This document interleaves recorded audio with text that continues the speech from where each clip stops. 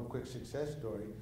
I started, I moved out from Detroit when I was 17 years old. I got my first job working for Mitzi Shore, who owned the comedy store on Sunset Boulevard. My job was to babysit Pauly Shore. As the years went on, I was an actor. I had my own TV series on HBO. I directed 12 movies and won awards. And now I'm babysitting Pauly Shore again.